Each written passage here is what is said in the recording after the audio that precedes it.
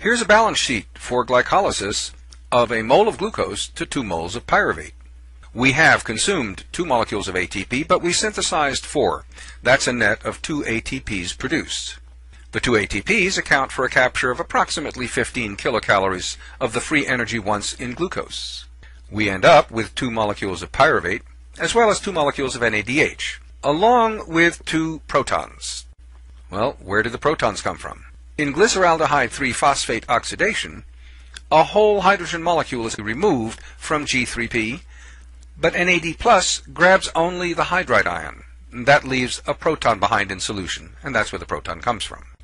The standard free energy change for the whole of glycolysis through pyruvate can be summed up.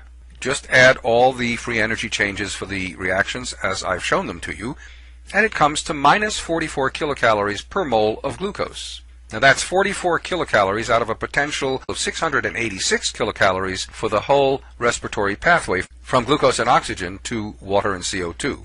So at this point, where is the free energy that was once in a molecule of glucose or in a mole of glucose?